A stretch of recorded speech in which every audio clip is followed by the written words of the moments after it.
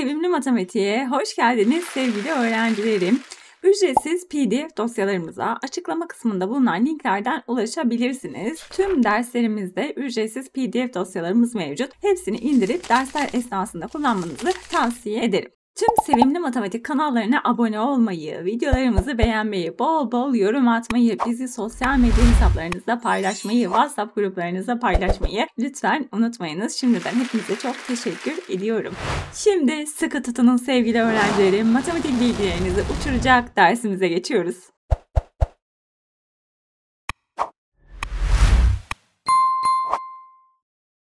Bugün sizlerle yeni nesil sorular çözeceğiz. Evet, bugün yeni nesil soru çözüm günü.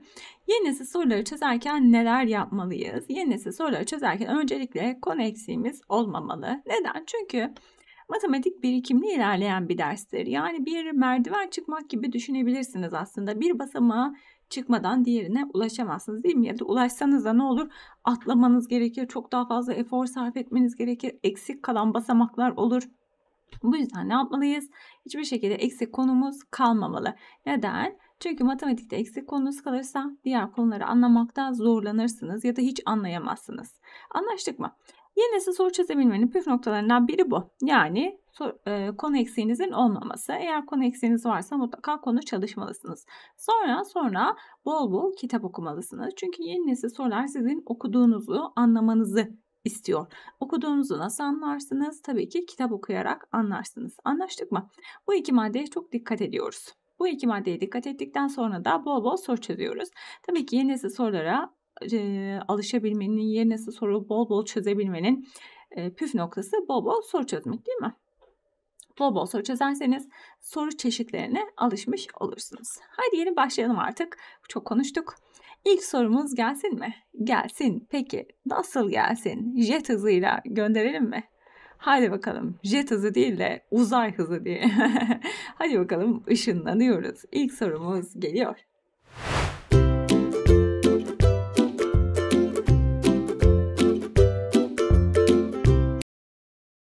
Sorumuza bakıyoruz çocuklar. Diyor ki Sevim öğretmen kağıtlara birimli ve birimsiz oranlar yazıp tahtaya asmıştır. Güzel. Tahtanın önüne iki kutu koymuş ve oranları birimli ya da birimsiz olmalarına göre kutulara atmalarını istemiştir.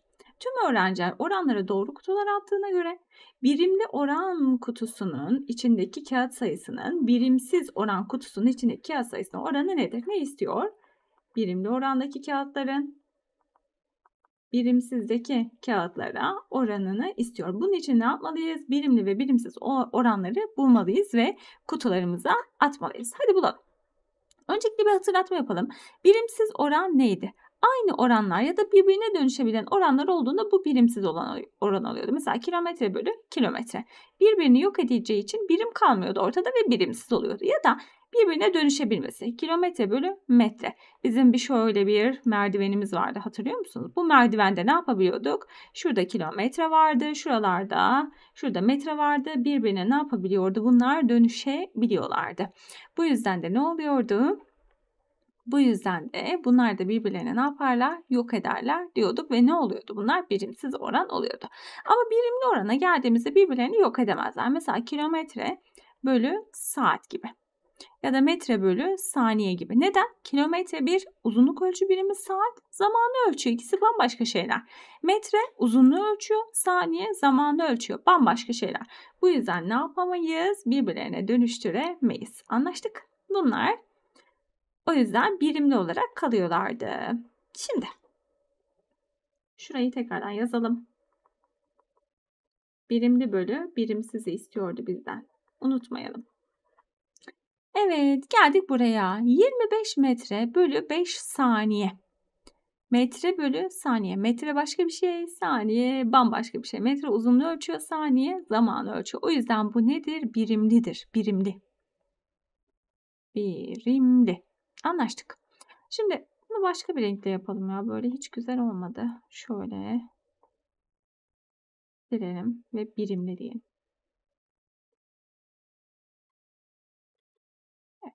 Üstüne yazayım hatta. Birimle. Geldik 70 litre bir 6 litre. Resmen birimsizim diye bağırıyor. Yani litreler gitti birimsiz. Metre bölü santimetre birbirine dönüşebilir mi? Evet. Neden? Merdivenden metre, desimetre, santimetre bakın birbirine ne yapabiliyor? Dönüşebiliyor. Metreyi santimetreye çevirin. İki tane sıfır atarsınız yanına. Neden? Aşağı inerken 10 ile çarpardık çünkü. İki defa 10 ile çarptığınızda iki tane sıfır atmış olursunuz. 700 santimetre olur. Bakın santimetreler gider. Ne oldu? Birimsiz. Bu yüzden sadeleşebiliyorlar diyoruz. Kilometre bölü saat. Kilometre farklı bir şey. Saat farklı bir şey. Kilometre uzunluğu ölçer. Saat zamanı ölçer. O yüzden birimli. Yok edemeyiz çünkü. Litre, mililitre. Adı üstüne bakın. Litre, mililitre. Yani isimleri bile neredeyse aynı. O yüzden ne olur bunlar? Sadeleşirler. Ama tabii ki böyle durup dururken sadeleşmezler. Birbirlerine dönüştürüp o şekilde. 1 litre 1000 mililitredir. O yüzden burası 45 bin mililitre olur. Bunlar yok olur. Ve ne olur burası? Birimsiz olur. Birimler gider. Kilogram bölü gram. Kilogram ve gram. 1 kilogram 1000 gramdır. Bakın bunu grama çevirelim. 3 tane sıfır atarsınız yanına. 10.000 gram yapar. Gramlar sadeleşir ve ne olur bu birimsiz. Gitti. Saat bölü dakika. Bunlar da birbirlerine ne yaparlar? Çevrilirler. Peki nasıl? 1 saat kaç dakikadır? 60 dakikadır. 1 saat 60 dakika. 86 çarpı 60 yaparsınız. Burayı dakikaya çevirirsiniz. Ve ne olur? Bunlar yok olurlar. Tamam mı? O yüzden bu ne olur? Birimsiz. Dakika bölü saniye. Bunlar da çevrilir. 1 dakika kaç saniyedir? 60 saniyedir. 60 ile 8'i çarparsanız hadi çarparım.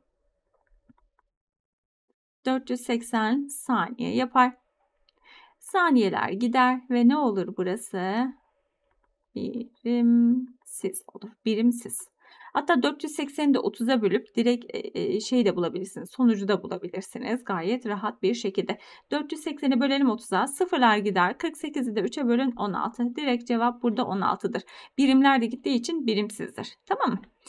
Şimdi birimli oranlardan kaç tane yazdık? Birimli. Birimli. Şöyle birimlileri maviyle işaretleyelim. Hemen bakıyorum. 1 2 2 2 Sadece iki tane mi birimlimiz varmış? İlginç. Birimlilerden iki tane var çocuklar. Birimsizlerden 1, 2, 3, 4, 5, 6. Kaç tane birimsiz? 6 tane birimsizimiz var. Birimsizleri bayağı yazmışız. Evet. Birimli bölü birimsizi sormuştu bize. Bakın birimli oran kutusunun içindeki kağıt sayısının birimsiz oran kutusunun içindeki kağıt sayısına oran demişti. Birimliler 2 tane, birimsizler 6 tane. 2 bölü 6 sadeleşmiş halinde sorabilir. Sadeleştirin 1 bölü 3 olarak bulursunuz. Tamam mı? İkisi de kabul. 2 bölü 6 ya da 1 bölü 3. İkisi de olur. Evet.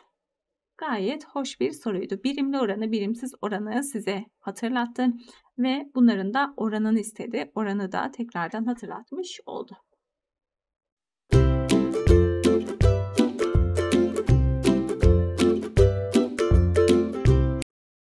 Evet çocuklar sizi şöyle kamyonla bir yerlere götüreceğim. Peki nereye? Tabii ki sorumuza nereye olacak? Hadi bakalım sorumuz gelsin. Şimdi gördüğünüz gibi burada bir kamyonumuz var ve bir tabela var. Bu tabela diyor bize bir bilgi vermiş. Verilen tabela üst geçit altından geçebilecek araçların maksimum yüksekliğini göstermektedir. Yani üst geçitin altından kamyon maksimum kaç metre yükseklikte olabilirmiş? 3,5 metre olabilirmiş tamam mı? 3,5 metre yükseklikte olabilirmiş maksimum olarak. Sonra diyor ki şekilde bir kamyonun ve taşıyacağı kolilerin ölçüleri verilmiştir. Kamyonumuz burada, ölçüler burada. Ve buna göre en fazla kaç tane kolyeyi üst üste koyarsa alt geçitten geçebilir demiş. Aslında gayet de kolay. Şimdi şuna bakacağız. Öncelikle diyeceğiz ki bakın bize şurada kasanın ölçüsünü vermiş. 1,3 metre. Sonra kamyonun toplam ölçüsünü vermiş. 2,45 ama şurayı vermemiş. Önce burayı bir bulalım. Neden? Çünkü buranın üstüne aslında yük yükleyeceğiz. Neden? Çünkü buranın içine girecek bizim koliler. Yani buranın uzunluğunun bir önemi yok bizim için. Neresi? Şurası önemli. Tamam mı? buranın üstüne kaç tane koli gelirse 3,5 metreye yaklaşır. Buna bakacağız. O zaman burayı bir bulalım. Burayı nasıl bulursunuz peki? Toplam uzunluktan neyi çıkartarak? Şuradaki kasanın uzunluğunu çıkartarak. Yani 1,3'ü çıkartacağım. Peki çıkarma işlemlerinde ne yapıyordum? Virgüller alt alta geliyordu. Boşluklara ne yapabilirim? 0 koyabiliyordum.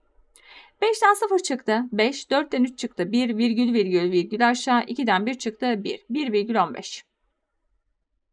1,15 metre. Şimdi bakın şöyle göstereceğim. Şuraya tekrardan çizeceğim. Şurası bizim neyimiz? Tekerleklerin olduğu kısım. Tamam burası 1,15'miş. Ne güzel tekerlek çizelim. 1,15 metreymiş. Bunu ne yapıyorum? Üstüne koliler koyuyorum. Kolilerimin her birisi ne kadar? 0,65. Bir tane daha koyuyorum. 1,0,65 daha. İşte bir tane daha koyuyorum. 1,0,65 daha. Bir tane daha koyarım. Vesaire vesaire vesaire. Kaç tane koyabiliyorsam artık. Maksimum ne kadar olabilir? Bunların toplamı, bunların toplamı 3,5 metre olabilir. Tamam. 3,5 metre. Peki nasıl bulacağım bunu? E 1,15'e sürekli olarak 0,15 0,65 ekleyebilirim. Hangisinde 3,5'u geçersem orada kutuyu deviririz. Tamam. Hadi bakalım deneyelim. O zaman 1,15'e bir tane kutu ekliyorum. Bir tane kutu koydum. 0,65. Bu zaten içinde oluyor. Tamam mı? Koydum, topladım. Şöyle, niye oradan başlıyorsam? Evet, direkt sonucu yazı verecektim. Toplamayı hiç size göstermeden. evet, 5'e 5'i topladım. 10. 10'un sıfırı elde var 1.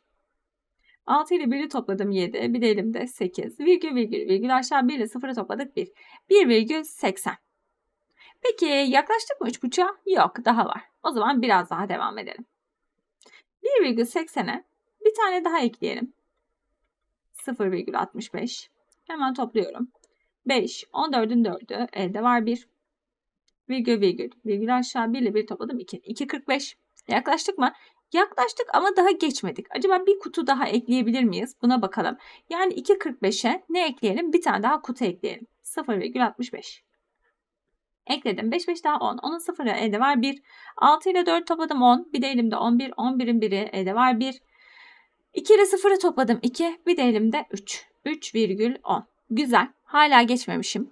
Ama bir tane daha eklersem ne yapacağım? Geçecek gibiyim. Değil mi? O zaman bir tane daha ekleyelim ve nasıl geçtiğimizi görelim. Şu anda 3,10'uz. Kaç tane kutu ekledik? Bakın 1, 2, 3 tane kutu ekledik. 3 tane kutu. Buraya kadar herhangi bir sorun yok. 3 tane kutu eklediğimizde 3,10'uz şu anda. Şöyle. 3,10 toplamda. Tamam 3,10'uz. Geçebiliyoruz. Ama 3,10'a 1,065 daha yani bir kutu daha eklersem ne olur? 3,75 olur. 3,5'u geçti mi? Geçti. Yani dördüncü kutuyu ekleyebiliyor muyum buraya? Na na na na. Dördüncü kutuyu eklersem buradan ne yapamam? Geçemem. Tamam. O yüzden kaç tane kutu ekleyebiliyorum üst üste? 3 tane kutu ekleyebiliyorum. En fazla kaç tane kolyeyi üst üste koyuyormuşum? 3 tanesini koyuyormuşum. Tamam. 3 tane kutu. Şöyle. Bunu niye sildim ki ben? Evet. Tekrardan yazalım. Şöyle. Böyle olursa ne oluyormuş? Dördüncü kutu. Na na na na. Dördüncü kutu diyelim buna da. Dördüncü kutu eklenemez. Kaç tane eklenir? Üç tane. Üç kutu. Evet, en baştan şöyle göstereyim tekrardan. Ne yaptık? Önce dedik ki bizim kamyon toplam yüksekliğini vermiş 2.45 ama bize ne lazım? Şu alt kısım lazım. Neden? Burayı bulursak üstüne kaç tane koli ekleyebileceğimizi de bulabiliriz aslında. Neden? Kolileri eklediğimizde bu kamyonun kasasının içine girecek. Yani kasanın ölçüsünün bir anlamı yok aslında bizim için. Sadece şuranın anlamı var. Tamam. Sonra burayı bulduktan sonra 1,15. 1,15'in üstüne bizim kolilerin nelerini ekledim? Yüksekliklerini ekliyorum. Bir tane koli ekledim. 1,15'e 0,65 ekledim. 1,80. Süper. Hiçbir sıkıntı yok. Sonra 1,80'e 0,65 ekledim. 2.45 hiç sıkıntı yok. Geçebiliyorum. 2.45'e 0.65 ekledim. Üçüncü kutuyu. Yine hiçbir sıkıntı yok. 3.10 oldu. 3.10'a 0.65 eklediğimde ne oldu? 3.75. 3.5'u geçtim. Hmm. Burada dedik sıkıntı var. Alt geçitten geçemez. O yüzden ne yapamam? Dördüncü kutuyu koyamam. Sadece kaç tane kutu koyabilirim buraya? 3 tane kutu koyabilirim. Tamam mı? Buranın içine. Evet 3 kutu koyarsak maksimum 3 kutu koyarsak yani en fazla 3 kutu koyarsak alt geçitten geçebiliriz. O zaman hadi gelin geçelim. Tekrardan şöyle ne yapalım soruyu tırımızla bitirelim. Kamyonumuzla ne tırı? Hemen şöyle kamyonumuzla sorumuzu bitirelim. Yük yüklemeye gidelim. Tamam 3 kutudan fazla almayın. Dikkat edin yoksa geçemezsiniz.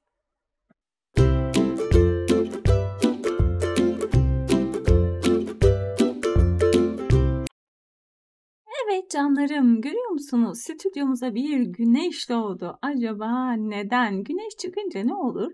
Gölgeler oluşur. Gölgelerin gücü adına diyeceğiz. Evet bu gölgeler bize neler anlatacak bakalım. Peki sizin gölgeniz neye benzerdi? Bir de onu sorayım. Buradaki adamınki bir süpermene benzemiş. Sizin gölgeniz neye benziyor acaba? Haydi söyleyin bakalım. Bir düşünün. evet şimdi bize bir bilgi vermiş. Yine sorularda bu çok popülerdir. Size bir bilgi verir. Demiş ki güneş gün içerisinde sürekli yer değiştirmektedir. Bundan dolayı gölgelerimizin boyu da ne yapmaktadır? Değişmektedir. Güzel. Ağacın gün içinde bazı saatlerdeki boyunun gölge boyuna oranı tabloda verilmiştir. Neyin neye? Boyunu gölge boyuna oranı. Boy bölü gölge diyelim. Gölge boyu. Burada da yazmış zaten. Şöyle de yazabilirsiniz kesir olarak boy bölü gölge boyu. Kesir neydi? Bölmek demek. Normal bir şekilde bölüyordunuz. Saat 11'de gölge boyu saat 8 ve saat 14'teki gölge boyunun aritmetik ortalamasıdır demiş. Aritmetik ortalama nedir çocuklar? Aritmetik ortalama. Aritmetik ortalama şu demek. Kaç tane sayınız varsa bunları toplarsınız. Mesela işte 4 tane sayıyı topladınız. O kadar sayıya bölersiniz. Tamam mı? Aritmetik ortalama buydu. Ağacın boyu 300 santim olduğuna göre bizim ağacın boyu kaç santimmiş? 300 santimetre. Olduğuna göre saat 11'de gölge boyu kaç santimetredir demiş. Güzel.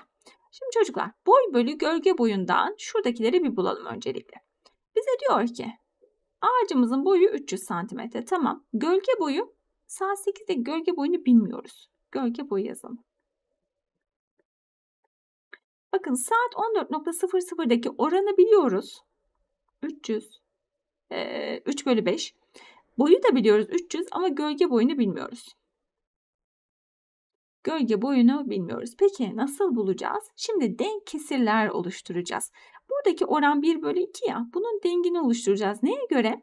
Yukarısı 300 olsun. Buna göre. Çünkü eğer boyu 300 ise buradan da gölge boyunu ne yapabiliriz? Bulabiliriz. Peki nasıl yapacağım burayı? E 300'e genişleterek tabii ki. Hemen 300'e genişletiyorum. 300'e 1'i çarptım 300. Bunu farklı bir renkle yapayım böyle karışmasın.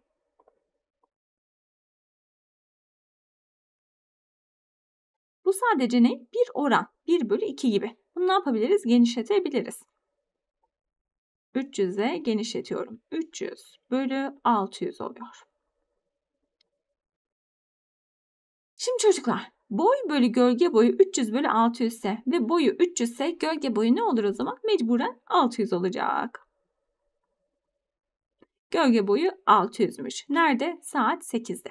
Şimdi saat 14'tekinde de aynısını yapacağız. Boyunu ne yapmamız lazım? Bulmamız lazım. Bu boy bölü gölge ya. Boyu diyoruz zaten 300. Burası 300 olursa aşağıdaki de gölge boyunu verir otomatikman. O zaman ne yapmalıyım? 100 ile genişletmeliyim burayı da. Şöyle yazayım. 100 ile 3'ü çarpıyorum 300. 100 ile 5'i çarpıyorum 500. Gördünüz mü? Boyu 300, gölge boyu 500 oluyor. Boy 300, gölge boyu 500. Şimdi boyu zaten 300'de e gölge boyu ne oldu? 500 oldu. Ve size ne diyordu? 11.00'da gölge boyu kaç santimdir? 11.00'daki gölge boyunu bulacağız. Peki ne demiş size 11'deki gölge boyuyla alakalı? Ne demiş? Saat 8'deki ve 14'teki gölge boyunun aritmetik ortalamasıdır demiş. O zaman aritmetik ortalamaları alacağız. Saat 8'de gölge boyu kaç? 600. Saat 14'te gölge boyu kaç? 500. İkisinin aritmetik ortalaması ne demek? Bu iki sayıyı topladım, ikiye böldüm demek. İkisini toplayalım. 1100 yapar. 1100 bölü 2. 1100'ü ikiye böldüm. 550. Buradaki gölge boyu neymiş? 550'miş. Tamam mı? Sadece gölge boyunu soruyor. Gölge boyu. Oranını sormuyor. Ama oranını da bulabilirsiniz isterseniz. Boy bölü gölge boyunda ne yaparsınız? 300 bölü 550 dersiniz ve buradan da ne yapmış olursunuz? Bulmuş olursunuz. Anlaştık. Evet, güzel ve hoş ve bir tık daha zor bir soruydu. Buradan denk kesirleri hatırlamanız gerekirdi. Yani demek ki sadece oranda sadece oran kullanmıyormuşuz değil mi? Mesela denk kesirleri de ne yapabiliyormuşuz? Kullanabiliyormuşuz. Ya da aritmetik ortalamayı da bunların içine ne yapabiliyormuş? Katabiliyormuş. O zaman yenisi sorularda ne olmamalıymış? Konu eksiği olmamalıymış. Eğer konu eksiğiniz olursa ne olurmuş? Soru çözülemezmiş. Çünkü burada bir sürü konu kullandık. Tamam mı? Asla konu eksiğiniz olmasın. Eksik konularınız varsa mutlaka tamamlayınız. Ve canlarım yenisi soruların sonuna geldik. Maymun da çok mutlu. O da dansa başladı. Yenisi sorular bittiği için. Hadi bakalım veda vakti diyelim. Peki nasıl veda edelim? Penguenimizle veda edelim. Sizlere bir el sallasın, hoşçakalın desin ve Diğer derste görüşmek üzere canlarım. Kendinize çok iyi bakın. Allah'a emanet olun. Hoşçakalın.